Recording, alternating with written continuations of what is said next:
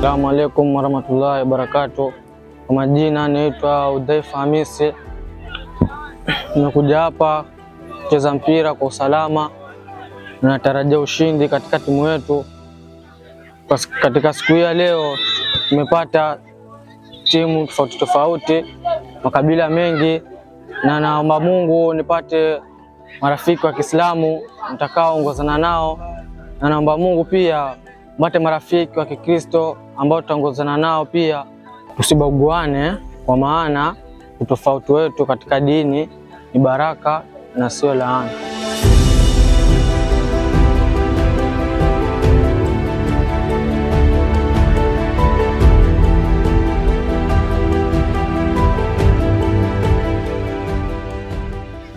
Leo nimekuja hapa, kulikuwa kuna tournament ya watu Samba Sport.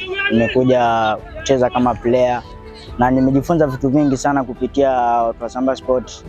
Nimejifunza vitu vingi sana, nimejifunza, nimecheza na watu ambao siwajui, nimecheza na watu ambao ilikuwa toka nianze kucheza ball sitacheza nao. Nimejifunza kwamba tusibaguane. So mimi ni Mwislamu, kusema hapa so Mkristo, sichezi naye, si mwenzangu. Mwenzangu pia kama ni Mkristo, kama Mwislamu.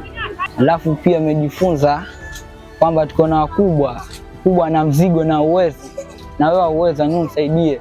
tunajaribu kuwavuta hivi ili tuweze kuwahamasisha kimaisha, kuwahamasisha kimasomo, kwa sababu hii Kenya au ulimwengu mzima hivi sasa tunakuelekea, nyinyi ndio ambao mnategemewa kuja kuwa viongozi kwa siku zijazo. Wale ambao wako katika uongozi hivi sasa walikuwa kama nyinyi na walisoma kama nyinyi na wakaishi katika maisha ya, ya kuhamasishwa, ndio wakawa wamefikia pale mahali ambapo wamefika.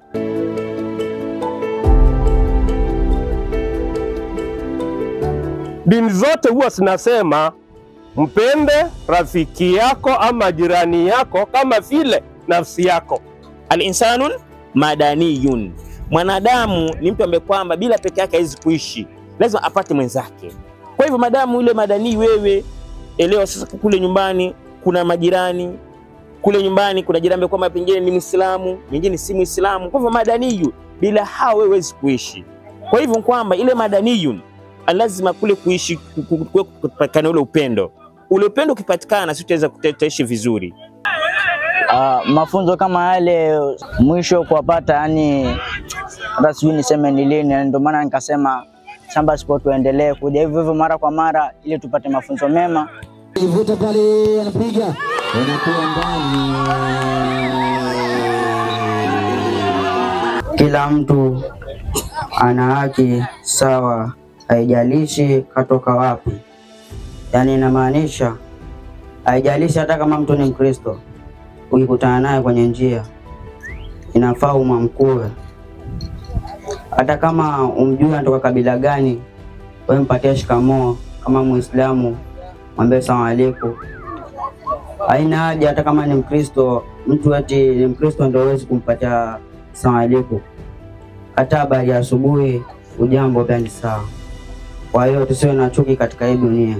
Ningependa kitu ambacho Samba Sport wame- wame- wamejiunga kule kufanya, yani waendelee hivyo hivyo na mradi huo huo, tukuze talenti zetu, maana tuki- wakikosa kufanya hivyo, kuna wengine kama sisi tutaenda kutengia sehemu mbaya, tutaanza kuvuta bangi, kumfanya hivi vitu vingine ambavyo vitakuwa tutafanya. Sasa ningependa kitu ambacho Samba Sport mradi ambao ameanzisha waendelee hivyo hivyo, ndio kitu ambacho mimi napenda. Ninawashukuru watu wa Samba Sport wametuletea mchuano hapa, wametufundisha mambo mazuri, tumecheza mpira kwa salama, wametupatia zawadi na tunawashukuru tena kwa tena, warudi tena hapa mara nyingi sana ili tupate zawadi zingine na tufundishe mambo mengine mazuri mazuri.